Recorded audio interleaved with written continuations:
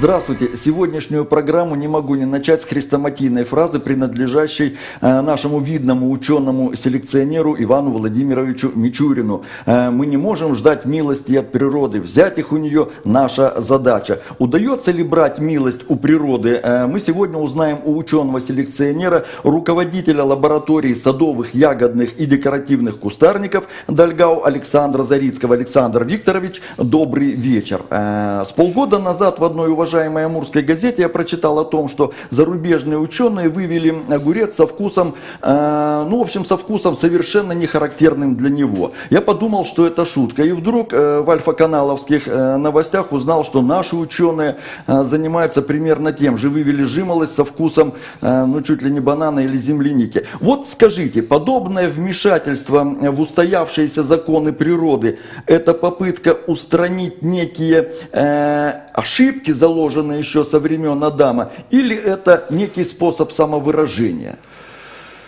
Ну, доля самовыражения, конечно же, здесь присутствует. Э, хотя, скажем так, вкус – это не всегда прогнозируемый признак. Ну, то, что касается жимолости со вкусом банана, это, скажем так, э, является сортовым признаком, но это не было целью выведения, э, чтобы получить именно Вон вкусовые качества банана.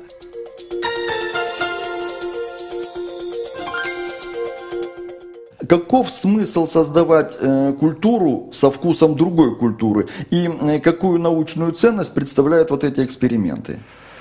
На самом деле смысла создавать одну культуру со вкусом другой смысла не имеет никакого. Ну, кроме, кроме как э, какого-то интересного факта. Имеет смысл другое.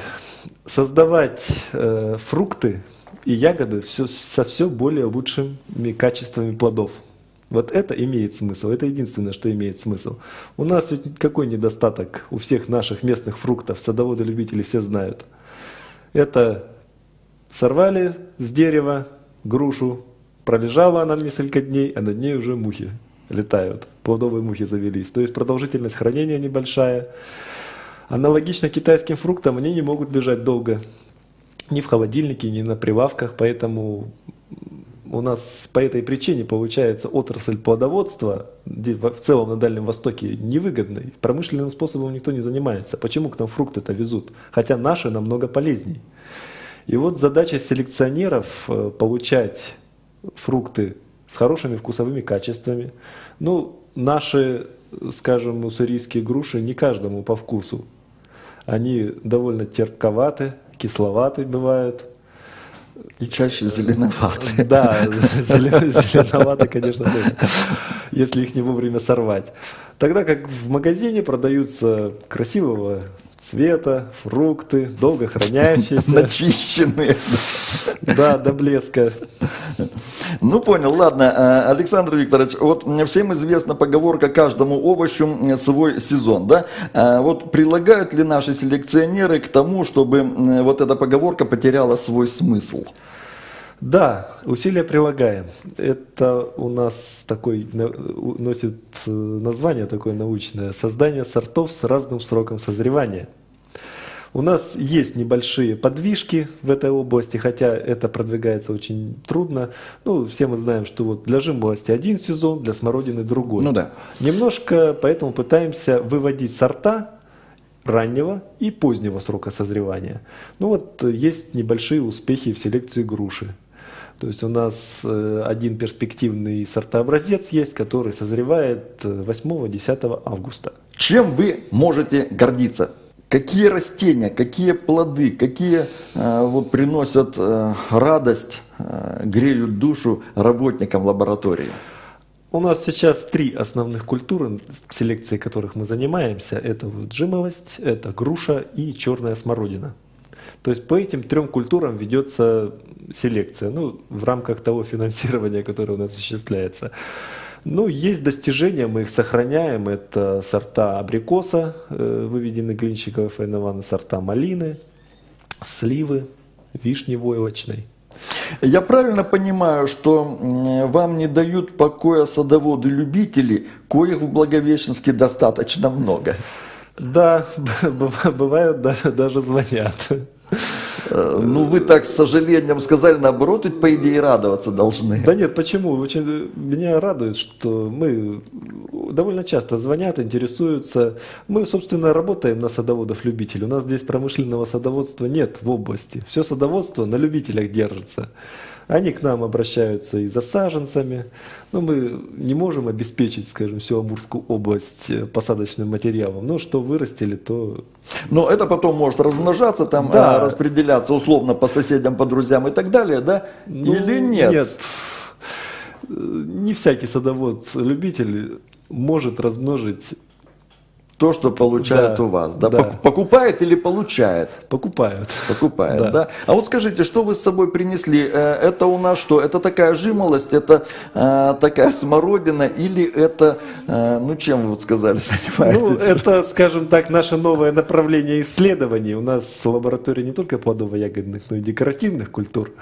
Э, Это одно из перспективных направлений сейчас, почему мы его взяли, скажем так, денежных. Это спирея, декоративный кустарник, который может использоваться в озеленении. Почему он в горшочке?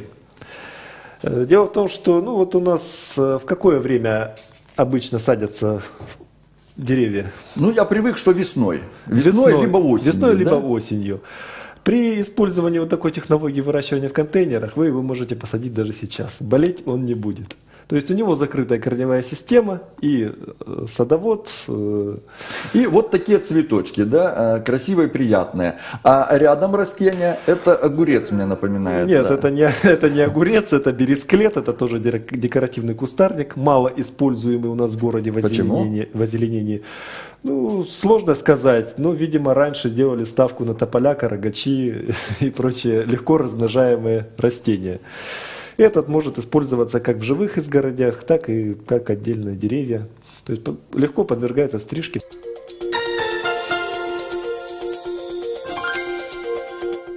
Вот вопрос, наверное, чуть шире, он выходит за рамки вашей лаборатории. Вот селекционная э, школа области вообще.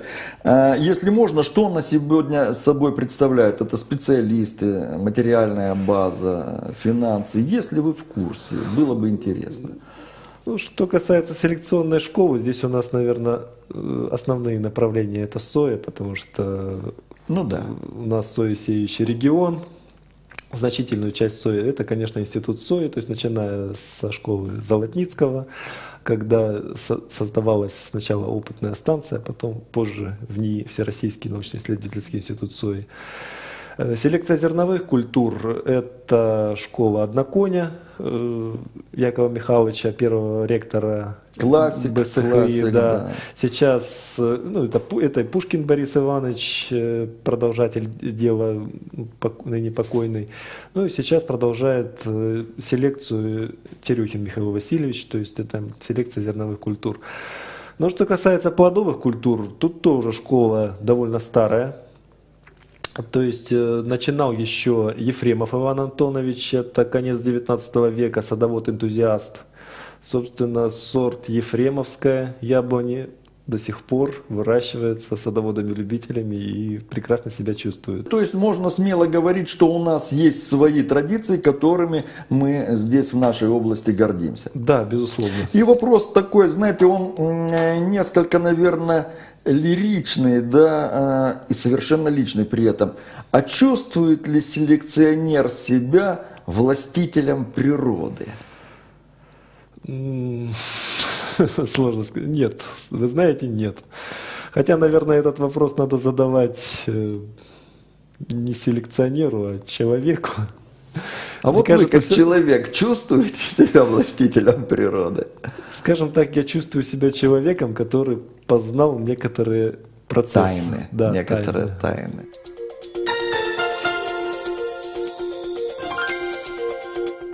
А, Ну, я желаю, чтобы не некоторые, а многие тайны природы вам открывались, и э, не только вам, сотрудникам вашей лаборатории, всем селекционерам нашей Амурской области. Успехов Спасибо. вам и спасибо за то, что пришли к нам на программу. Спасибо.